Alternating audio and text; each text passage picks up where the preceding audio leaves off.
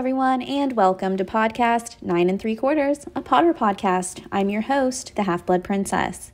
Today, I want to talk about the new Fantastic Beasts 3 movie, Secrets of Dumbledore, and finally explain why Jacob has a wand. But before we get started, if you love Harry Potter as much as I do, be sure to subscribe and give this video a thumbs up. Fair warning, there will be plenty of spoilers ahead, so if you haven't seen Fantastic Beasts 3 yet, you have been warned. So, why does Jacob Kowalski have a wand? There have been so many theories since the trailer came out as to why Jacob Kowalski has a wand. I know for me, I wanted Jacob to be magical somehow.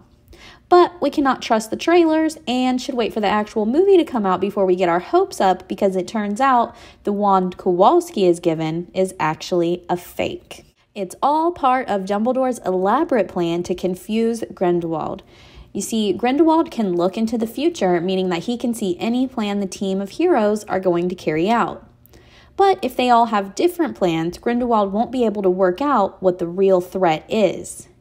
Kowalski is given a decoy wand and is essentially framed as an assassin when it appears as though he has used magic to try and kill Grindelwald. The truth is, he doesn't use magic at all, but as long as everyone believes that, then Grindelwald's path to power can open up as they get behind his war on the Muggles. But why would Dumbledore want Grindelwald's plot for dominance of the wizarding world to gain traction? Well, things need to play out that way so that Grindelwald will end up exactly where Dumbledore wants him, out in the open, revealed to be the fraud that he is. Let me know in the comment section what you thought about Jacob and his wand in Fantastic Beasts 3, and be sure to like and subscribe. Kay, love you. Bye.